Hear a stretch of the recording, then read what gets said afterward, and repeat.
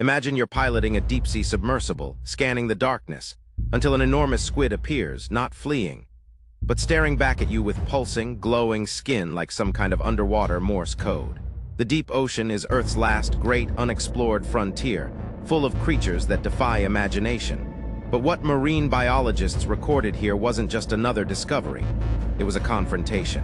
A massive squid, estimated over 40 feet long, didn't just drift into view, it waited.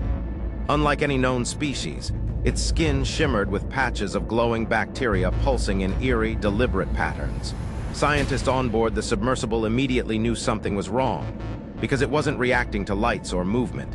Instead, its nerves fired in response to electricity, specifically the sub's electromagnetic field.